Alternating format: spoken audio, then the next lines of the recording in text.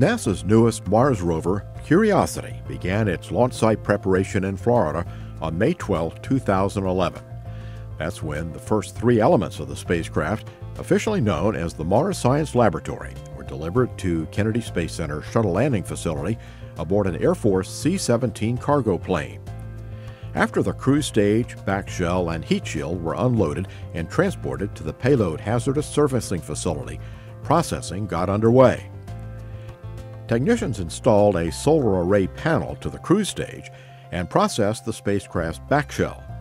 The back shell carries the parachute and several components used during later stages of entry, descent, and landing of the rover. The aeroshell, comprising the back shell and the heat shield, was tested on a spin table before technicians used an overhead crane to separate the two components. On June 22nd, a cargo plane arrived at Kennedy carrying the rover and the spacecraft's rocket powered descent stage. The descent stage will fly the rover during the final moments before its landing on the Martian surface. After transportation to the servicing facility, technicians remove the protective wrapping from the descent stage thrusters for documenting and inspection. The rover itself was removed from its protective carrier and moved by crane to a work stand.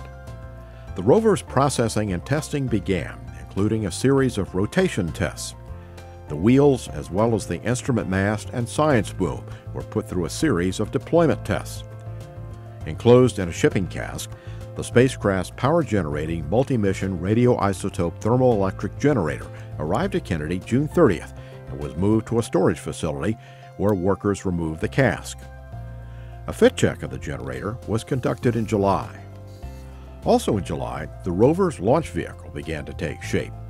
A United Launch Alliance Atlas V with four solid rocket boosters attached will loft the Mars Science Laboratory into space. The Atlas V first stage and Centaur second stage were offloaded from the Delta Mariner transport ship at Port Canaveral, just a few miles from the launch site. They were transported to Cape Canaveral Air Force Station and delivered to the Atlas Space Flight Operations Center. A crane was used to position the 106.5 foot long stage inside the integration facility and lower it onto its launch platform.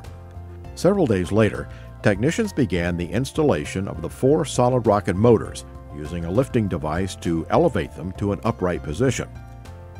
An overhead crane lifted the Centaur upper stage of the rocket, and technicians attached it to the lower stage.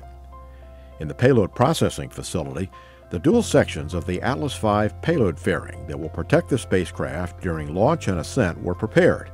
Technicians helped guide the rocket powered descent stage over Curiosity for integration. Then they positioned the back shell as it was lowered over the rover for encapsulation. Technicians cleaned the fairing acoustic protection system to meet NASA's planetary protection requirements. The spacecraft's cruise stage was joined to the aeroshell containing Curiosity. The cruise stage provides solar power, thrusters for navigation, and heat exchangers to the rover during its flight from Earth to Mars. The spacecraft was then enclosed between the two halves of the payload fairing and placed on a transporter for the move to Space Launch Complex 41. As dawn broke on November 3rd, the payload was ready to be lifted at Space Launch Complex 41's vertical integration facility. Once atop the rocket, the payload was attached and the radioisotope thermoelectric generator was installed. With its final Earthbound journey completed, the rover Curiosity and its Atlas V launch vehicle were ready for launch. Next stop, Mars.